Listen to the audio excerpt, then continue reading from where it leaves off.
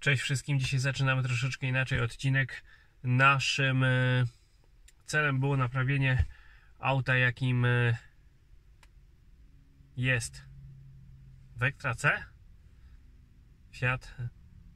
Nie mam pojęcia. Od spodu samochód wygląda jak Vectra C. Oczywiście silnik 1.9 16V 150 koni, standardowy silnik, bardzo często jeździ to w Oplach, jeździ to w Alfie Romeo, jeździ to we Fiacie. Yy, jest to Fiat Chroma. Klient przyjechał na regenerację przekładni kierowniczej. Chcę Wam to pokazać troszeczkę w środku, jak to wygląda. Yy, powiem Wam też, yy, jak jest zbudowana ta przekładnia kierownicza, bo to ta przekładnia jeździ naprawdę w wielu samochodach bardzo często się psuje. Psuje się oczywiście z przebiegu i z nieprawidłowych wymian drążków kierowniczych i osłon.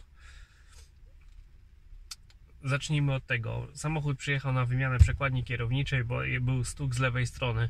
Tak jak wiecie już i widzieliście na moich filmach, z lewej strony jest ślizg dociągający. Bardzo mnie to zdziwiło, no ale po przekręceniu kierownicą w lewo, prawo było słychać e, stuki typowe stuki na zużycie przekładni kierowniczej. Po podniesieniu samochodu y, okazuje się, że przekładnia kierownicza jest po regeneracji.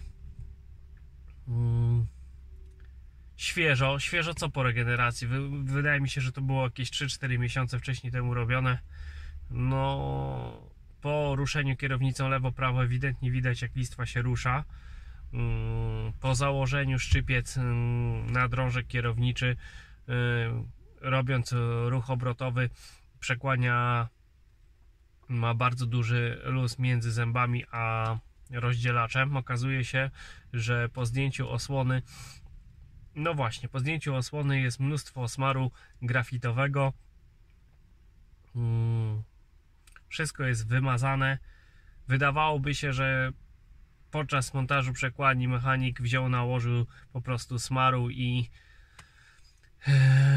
smaru takiego jakiego miał, tak jak wam mówiłem, ten smar się nie nadaje do elementów, gdzie, jest, gdzie mm, głównym zadaniem mm, środka smarnego jest y, mm, smarowanie powierzchni, które się przesuwają względem siebie, czyli występuje duże tarcie nie może to być smar do łożysk, nie może to być smar grafitowy, musi to być specjalny smar, który stosujemy mm, do przekładni kierowniczych. Jest to smar litowy, ale jego zastosowanie jest jego zastosowanie jest właśnie do yy, przenoszenia wy, bardzo wysokiego tarcia w tym przypadku ten smar ma się kleić do listwy. Y, nieważne, czy to jest temperatura minus 20, czy minus 50, y, y, czy, czy plus 60 stopni. Ma być po prostu listwa, ślisk zabezpieczony przed, przed, przed tarciem, przed nadmiernym zużyciem się. Mm, po rozebraniu tej przekładni kierowniczej oczywiście nie rozbieraliśmy całej, no bo nie będziemy narażać klienta na dodatkowe koszty, bo wydał kasę za, na, na regenerację, za mechanika. Mm, wyglądało to tak, że ktoś montując drożki kierownicze po prostu nie przytrzymał listwy zębatej, dokręcił na hama i wypchał ślisk. To takie pierwsze moje spostrzeżenia były, y, ale nie potwierdziły się. Mm, ślizg miał gwint, y, śruba dociskająca, czyli, czyli element, który kasuje luz, nie miał zerwanego gwintu. Był bardzo lekko dokręcony, ale po odkręceniu go w środku widać było w samym ślizgu, w samym tym elemencie dociskającym, że jest nałożony smar, czyli osoba, która to regenerowała, po prostu nie wiem, zabrakło jej smaru odpowiedniego, nawaliła smaru grafitowego, no i zniszczyła tą przekładnię. Mm, dlaczego mówię, że zniszczyła? Mm, na filmach będziecie widzieli ślizg, który jest powycierany y, w miejscach, gdzie pracuje, gdzie się styka z listwą zębatą, ale również w, miejscach, gdzie po prostu smar się przedostał i wycierał ten ślisk o obudowę przekładni. Ta obudowa przekładni też jest już w delikatnym stopniu wytarta, dlatego też zastosowaliśmy to, zastosowaliśmy inny ślisk, zobaczycie to w filmie. Co mogę powiedzieć? Wszystko zostało naprawione. Yy, chcę Wam pokazać, bo, bo to jest akurat ciekawe, bo większość tych samochodów, czyli te Wektry, Alfy, mm, Fiaty, yy, po przekręceniu kluczyka, ruszając lekko kierownicą, oczywiście na, na włączonym silniku, nie na wyłączonym, słychać takie stuki z kolumny kierowniczej, delikatne, no to wiadomo, przenosi to yy, prze, yy, kręcenie kierownicą yy, przenosi się za pomocą kolumny kierowniczej. W kolumnie kierowniczej są sztyce, sztyce się też wyrabiają, są krzyżaki, krzyżaki też są powyrabiane. Akurat ten przy, przypadek jest o tyle fajny, że po zrobieniu przekładni nie ma najmniejszego stuku, po prostu jest to wszystko jak nowe. Yy, co jeszcze chciałem powiedzieć? W tym akurat przypadku nie możemy tego nazwać, co zrobiliśmy regeneracją, tylko po prostu naprawą przekładni kierowniczej po nieudanej regeneracji. Hmm. Wszystko zostało naprawione. Myślę, że klient będzie zadowolony, nie będzie skasowany jak za normalną regenerację przekładni, tylko tam jakieś grosze. O samochód już odpaliłem tam e, na parking hmm. i posłuchajcie tego.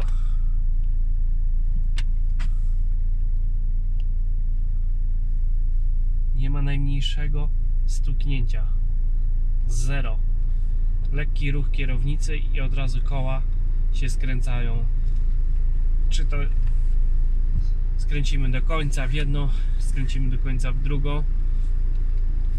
Jest wszystko idealnie, cichuteńko, bez najmniejszych e, stuknięć, bez najmniejszych oporów, ale powiem Wam szczerze, yy, przesiadając się do Wektry C, yy, mam odczucie, że ta przekłania chodzi lżej, że w Wektrze C jednak te wspomaganie jest lepsze. Jest ciekawe, czy po prostu to jest wina mm, oleju, przekładniowego, nie wiadomo co tutaj zostało zalane. Tu akurat jest przekładnia e, hydrauliczna z pompą elektrohydrauliczną.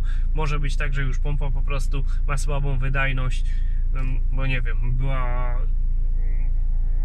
były już w niej jakieś opiłki z wytartej przekładni kierowniczej, z wytartej obudowy przekładni kierowniczej lub, lub też po prostu sama pompa już się wy, wyciera i ma słabszą wydajność.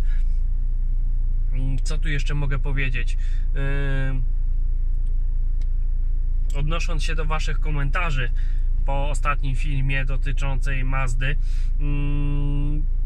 zrobimy tak, że następne odcinki właśnie będziemy kręcić nie tam o jakichś autach, które kosztują naprawdę bardzo grube pieniądze, tylko taką zrobimy taką codzienność. Puścimy Wam serię filmów, które yy, są związane z autami, którymi jeździmy na, na, na co dzień, czyli, te, czyli ten Fiat, choć ten Fiat i tak nie jest y, często widywany na drogach, ale tak jak powiedziałem, Vectra C jest bardzo często widywana. W warsztatach y, robimy te przekładnie kierownicze bardzo dużo. Y, Następnym samochodem, który będę chciał Wam pokazać, to też będzie auto, które jest bardzo często widywane na polskich drogach. Zrobimy takie odcinki, bo na przykład w tym samochodzie może być też e, montowana przekładnia z czujnikiem kąta skrętu lub bez czujnika kąta skrętu z pompą mm, firmy TRW montowanej na przekładni lub też montowanej e, na, w nadkolu Akurat w tym przypadku nie ma to, nie ma to najmniejszego znaczenia. E, obydwie przekładnie po prostu działają tak samo. E, nie ma co tutaj e, pokazywać, ale pokażę Wam na przykładzie innych aut z grupy Volkswagena czy tam Audi, gdzie w jednym samochodzie jeździ 5 albo 6 różnych przekładni i różnią się naprawdę od siebie diametralnie. Mm, na tą chwilę mm, to wszystko. Mm, zapraszam do oglądania odcinka, e, w którym smar może zniszczyć zły, nieodpowiedni smar może zniszczyć przekładnię kierowniczą. E, pokażę Wam właśnie mm, tak błahą rzecz, a może ona spowodować to, że przekładnia kierownicza zostanie uszkodzona. Jeżeli będziecie kiedyś na warsztacie, czy macie warsztat i montujecie przekładnię, naprawdę, naprawdę zwróćcie uwagę. Nie po to ktoś produkuje tyle różnych olei, tyle różnych smarów, yy, bo, bo mu się tak chce, bo, bo ma takie widzimisię. Każdy smar ma inne zastosowanie. W tym przypadku zły, nieodpowiedni smar zniszczył ślizg. Po co? Po co takie coś robić? Róbmy wszystko tak, jak powinno być, a nie będzie dodatkowych kosztów. Zapraszam do oglądania filmu i dziękuję. Tak jak widzicie, przekładnia była już robiona, jest świeża. Myślę, że to może mieć jakieś 3-4 miesiące. Z tej z prawej strony już widać tutaj jakieś zapocenie, ale to może być tak, że ktoś po prostu montował, wysmarował to smarem, bo nie mógł osłony zacisnąć, yy, założyć, bo było ciężko na samochodzie. No, spróbujemy to zdjąć, zobaczymy co tu się dzieje, zobaczcie na to jeszcze raz. Na drążku kierowniczym mam założony klucz, żabkę ściśniętą i wezmę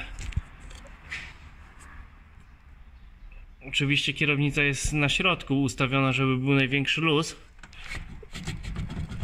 Nie wiem, czy to słyszycie.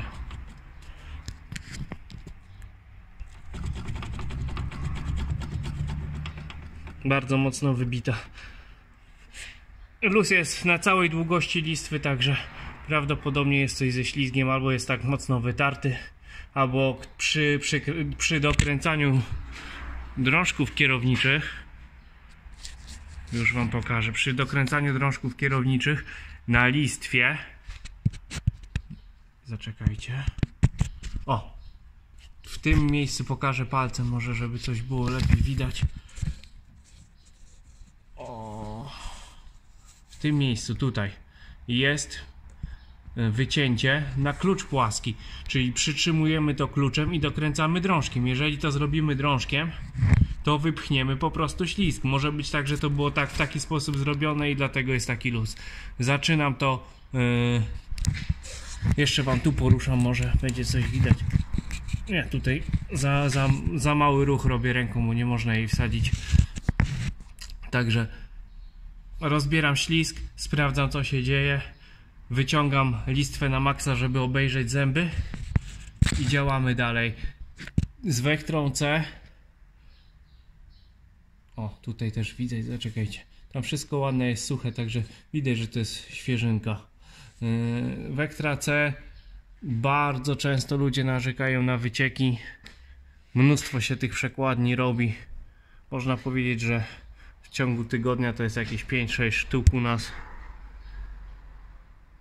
No już nie jest to aż tak popularne auto jak kiedyś, gdzie to można powiedzieć, że całe busy wyjeżdżały tych przekładni co kilka dni to się sprzedawało, no to teraz tego jeździ coraz mniej. Macie to w Vectrze, w Signum, w Chromie. Ci posiadacze tych aut dobrze wiedzą, co to jest temat przekładni kierowniczej, bo często, często są wycieki. Także pozdrawiam. Yy, wysunę listwę, zrobię Wam jakąś fotę, albo też pokażę jakiś filmik. Yy, rozbiorę jak mi się uda bez wyciągania tej przekładni kierowniczej ślizg i zobaczymy co się dzieje ze ślizgiem. Chciałem Wam pokazać nie wiem dokładnie czy ta ława w Fiacie Chromie jest identyczna jak, jak Vectra ale w tym przypadku fajnie zrobili przerzucę kamerę Wam pokażę tutaj tu w tym miejscu jest takie wycięcie przez które będzie można włożyć klucz i, i dostać się do ślizgu. Prawdopodobnie nie będę ściągał ławy, tak jak mówiłem. Próbuję to rozkręcić i pokazuję Wam dalej. Tak jak widzicie, jest miejsce na rozebranie ślizgu z przewodów. Tutaj przewody są wciskane, przykręcane jednym torksem, taką blaszką. Tutaj jest w miarę suchuteńko. Yy, rozbieram ten ślizg i działamy. Ślizg już wykręciłem. Zobaczcie, gwint jest na nim cały, nie jest zniszczony. Ślizg był bardzo lekko dokręcony. Przez osobę, która to regenerowała, nie był zabezpieczony yy, punktakiem. Nie był nawet zrobiony na klej. Może być tak, że był za lekko dokręcony, nie wiem, wykręcił się, ale zobaczcie to. No, ktoś, kto to robił, jednak osoba, która to regenerowała, to ona użyła tego smaru. Zobaczcie, co tu się dzieje. Wszystko zażygane, brudne. To powinno być czyściutkie, pięknie, tylko delikatnie przesmarowane w miejscu, gdzie jest ta. O, już Wam pokażę. Ta sprężynka, żeby ślisk po prostu przy kręceniu nie, nie, nie, nie, nie zdzierał się i to wszystko. No. Trzeba to wyciągnąć, wymyć, zobaczymy co się dzieje dalej. Chcę Wam teraz pokazać, udało mi się wyciągnąć ten ślisk. To jest taki o-ring, który jest włożony w przekładnię kierowniczą w tym miejscu. Ma za zadanie uszczelniać e, po prostu te połączenie gwintowe, żeby się przez nie nie dostawała woda. Tu jest e, o-ring, ślisk, sprężyna i ta nakrętka, którą Wam wcześniej pokazywałem. Zobaczcie, tutaj już widać na tym takie jakieś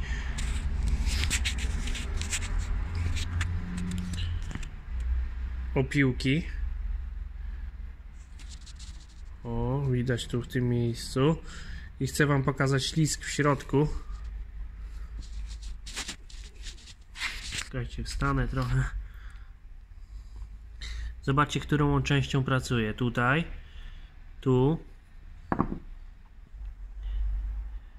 i tu w tym miejscu, w środku, gdzie widzicie tak dużo smaru, to są sam, same starte, sam starty ten teflon. Czekajcie chwileczkę, spróbuję to szczyścić. Nie wiem, czy to będzie widoczne na filmie, ale tu na palcach. Czekajcie. O.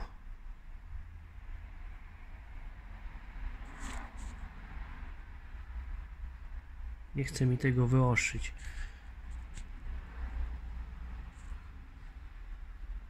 Za blisko jest. Tu na palcach mam całe, cały starty ten teflon. Wymienimy go mm, na drugi. Zobaczymy jaką pasuje do listwy i, i będziemy to y, czyścić. Y, spróbuję poprawić ten gwint na ślizgu, y, na ślizgu na tej śrubie dociągającej. Przeczyszczę go, zmienimy sprężynę na troszeczkę twardszą. Zaraz to wyczyszczę i pokażę Wam jak to wygląda, jakie jest zużycie tego. Chciałem Wam pokazać co zrobił tutaj ten smar. Wszystko jest dookoła powycierane. Nie będę chciał takiego ślizgu już tutaj stosować, ponieważ on też powycierał już obudowę przekładni. Yy, to nie jest oryginalny ślizg z tego samochodu. To już jest jakiś zamiennik. Yy, pokażę Wam inny, inny rodzaj ślizgu. Taki ślizg. Jest to ślizg aluminiowy z tutaj o-ringiem. Mm, lepsze rozwiązanie, bo po prostu nawet mm, gdy jest już uszkodzona obudowa delikatnie wytarta, no to ten o-ring trzyma. Nie ma stuków takich e, w tulei. Ten ślisk jest troszeczkę inny. Tutaj montujemy panewkę jest panewka wymienna, lepsze rozwiązanie. Takie rozwiązanie najczęściej spotykane jest w Volkswagenach, yy, Audi, przekładniach ogólnie ZF-a. Yy, przerobimy ten ślizg, zmniejszymy go, yy, żeby pasował tutaj do przekładni. Yy, co jeszcze? Panewkę dajemy nową, grubszą, nadwymiar. Troszeczkę ona będzie wystawała, żeby bardziej obejmowała listwę, wtedy to będzie dłużej jeździło. Robię to, zakładam, pokażę Wam już na gotowym samochodzie, jak to wszystko nam wyszło. Myślę, że, że pojeździ jeszcze ta przekładnia parę lat, klient będzie zadowolony. Także idę to przerabiać. Cześć, ślisk już y, został założony, drugi. Pokażę Wam, jaki teraz jest luz na tym. Już jest to wszystko poskładane na klej, skręcone. Zostało tylko założyć osłonę. Chcę Wam pokazać, yy, kręcąc ruchem obrotowym yy, listwą, czy jest luz, czy go nie ma Robota wyszła dobrze, sami to ocencie. Już e, przerzucam kamerę i Wam pokazuję. Listwa jest wysunięta na środek i teraz będziemy sprawdzali jak nam wyszedł ten luz, czy w ogóle ten luz jest, czy go nie ma. Już spróbuję poruszyć, zobaczcie. Ruszam żabką. Minimalny tak na ugięciu sprężyny jest wszystko w porządeczku. Składamy, zaciskamy osłonę. Yy, wszystko będzie jeździło. Mam nadzieję bez najmniejszego problemu. Kończę, wyjeżdżam samochodem. Zrobię wam jeszcze Pokażę Wam jeszcze w środku, jak to wygląda y, z kierownicą, że kierownica nie ma luzu, że nic nie puka. Także zakładamy osłonę. Na razie to wszystko. Chcę Wam teraz pokazać ten ślisk. Tak jak widzicie jest ze 2-3 zwoje głębiej wkręcony, bo jest inny zastosowany yy, docisk. Zrobiłem go troszeczkę płytszego, żeby głębiej wszedł. Jest naprawdę dobrze. Mm. Opuszczam samochód, to wszystko jest tutaj mokre, bo to chciałem umyć. Yy. Nic nie cieknie, nic się z tym nie dzieje, także jest wszystko w porządku. Przekłania została, została naprawiona dobrze. Tutaj jeszcze macie trochę yy, środka do mycia silników. Wyjeżdżamy tym i patrzymy co się dzieje.